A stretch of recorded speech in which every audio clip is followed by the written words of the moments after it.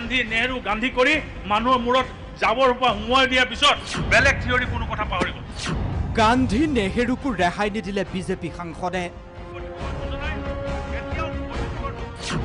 কামাখ্যাত আচাৰ বতে গান্ধী নেহেৰু দেশৰ জাবৰ। কেৱল নেহেৰু গান্ধী নেহেৰু গান্ধী কৰি মানুহৰ মূৰত জাবৰ সোপা সোমোৱাই দিয়াৰ পিছত বেলেগ থিয়ৰী কোনো কথা পাহৰি গ'ল গান্ধী নেহেৰু আউট দীনদয়াল ইন তাছাৰ মন্তব্যক লৈ ৰাজ্যজুৰি প্ৰতিক্ৰিয়া গোচৰ।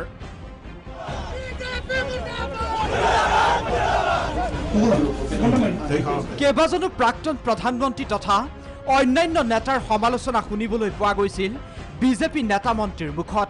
কিন্তু কোনেও জাতিৰ পিতা মহাত্মা গান্ধী বা জৱাহৰলাল নেহেৰুক সমালোচনা কৰিবলৈ আজিলৈকে সাহস কৰা নাছিল। কিন্তু সেই দুঃসাহস কৰি দেখুৱালে অসমৰ এজন সাংসদে। তেওঁ আন কোনো নহয়। সংসদত ৰাজ্যখনৰ হৈ এষাৰো মাত মাতিব নোৱাৰা যোৰহাটৰ বিজেপি সাংসদ কামাখ্যা প্ৰসাদ তাছা তাকো শনিবাৰে মুখ্যমন্ত্ৰী সৰ্বানন্দ সোণোৱালৰ উপস্থিতিতে সোণাৰীৰ এক চৰকাৰী অনুষ্ঠানত অংশ লৈ এই সমালোচনা কৰিলে তাছাই। চৰকাৰী অনুষ্ঠানটোত গান্ধী নেহেৰু সন্দৰ্ভত তাছাই কি কৈছিল আকৌ শুনক। নেহেৰু গান্ধী নেহেৰু গান্ধী কৰি মানুহৰ মূৰত সোপা সোমোৱাই দিয়াৰ পিছত বেলেগ থিয়ৰী কোনো কথা পাহৰি গ'ল। স্বাভাৱিকভাৱে জাতিৰ পিতা মহাত্মা গান্ধী দেশৰ প্ৰথমজন প্ৰধানমন্ত্ৰী জৱাহৰলাল নেহেৰুক লৈ এজন জনপ্ৰতিনিধিয়ে কৰা এই মন্তব্যক লৈ এতিয়া ৰাজ্যজুৰি সৃষ্টি হৈছে তীব্ৰ প্ৰতিক্ৰিয়াৰ। আনটো বাদেই গৃহ সমষ্টিতে এনে বিতৰ্কিত মন্তব্যৰ বাবে ধিক্কাৰ গৰিহণাৰ সন্মুখীন হৈছে সাংসদজন। তেখেতক আমি যোৰহাটৰ এজন সচেতন নাগৰিক হিচাপে আমি এই মন্তব্য প্ৰত্যাহাৰ কৰিবলৈ দাবী জনাইছোঁ। আৰু লগতে আমি সন্মিলিত নাগৰিক মঞ্চ যোৰহাটে ইয়াক ধিক্কাৰ দিছোঁ। গান্ধী আৰু নেহেৰু সমালোচনা কৰিবৰ কাৰণে সেই গান্ধী আৰু নেহেৰু সমপৰ্যায়ৰ এজন ব্যক্তিয়ে যদি আগবঢ়ালেহেঁতেন সমালোচনাটো তেতিয়াহ'লে আমি সাধাৰণ জনতা হিচাপে আমি মানি ল'লোহেঁতেন। টুলুঙা মন্তব্য দিয়াতকৈ তেওঁ নিজে আত্মসমালোচনা কৰক। প্ৰদেশ কংগ্ৰেছৰ সভাপতি ৰিপুণ বৰাই এই বিতৰ্কিত মন্তব্যৰ বাবে তীব্ৰ ভাষাৰে সমালোচনা কৰিছে কামাখ্যা তাছাক জাতিৰ পিতা মহাত্মা গান্ধী জৱাহৰলাল নেহেৰু ডাঙৰীয়াক এই দুইজনক তেওঁ তাচ্ছিল্য কৰি আৱৰ্জনাৰ লগত তুলনা কৰি তেওঁ যি বক্তৃতা দিছে গোটেই দেশবাসীক অপমান কৰিছে এইটো অক্ষমনীয় অপৰাধ। সাংসদজনৰ এই মন্তব্যৰ বিৰুদ্ধে দেওবাৰে প্ৰতিবাদী কাৰ্যসূচীও গ্ৰহণ কৰে প্ৰদেশ কংগ্ৰেছে।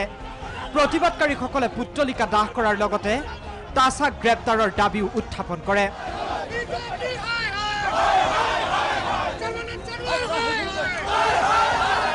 দাবী জনাই সাংসদজনৰ তাৎক্ষণিক পদত্যাগৰো।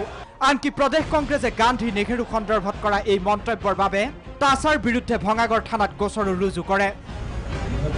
কিন্তু ৰাজ্যজুৰি সৃষ্টি হোৱা এই তীব্ৰ প্ৰতিক্ৰিয়াৰ পিছতো গুৰুতৰ বিষয়টো সন্দৰ্ভত গা এৰা দিয়া ভূমিকাহে গ্ৰহণ কৰিছে ৰাজ্যিক বিজেপিয়ে। মুখ্যমন্ত্ৰী মহোদয় আছিলে সভাখনত শুনিব পাৰিছোঁ। গতিকে আমি গোটেই বিষয়টো তাছ ডাঙৰ লগত কথা পাতিহে আমি পৰৱৰ্তী তেওঁ কি ধৰণে কথাটো প্ৰসংগটো টানি আনিছিল এই কথাখিনি তেখেতৰ লগত কথা পতাৰ পিছতে আমি স্পষ্টভাৱে আপোনালোকক অৱগত কৰিব পাৰিম। উল্লেখযোগ্য যে বিভিন্ন সময়ত ছ'চিয়েল মিডিয়াত এনেধৰণৰ মন্তব্য কৰাৰ বাবে বহুজনে জেলৰ ভাত খাবলগীয়াও হৈছে। এতিয়া প্ৰশ্ন উঠিছে গান্ধী নেহেৰুক জাবৰেৰে তুলনা কৰা সাংসদ কামাখ্যা তাছাৰ বিৰুদ্ধে দলে কিবা ব্যৱস্থা গ্ৰহণ কৰিবনে? নে সাংসদ হোৱাৰ সুবাদতে জাতিৰ পিতাক লৈ তুচ্ছ তাচ্ছিল্য কৰিও সাৰি যাব কামাখ্যা প্ৰসাদ তাছা ব্যুৰো ৰিপৰ্ট DY265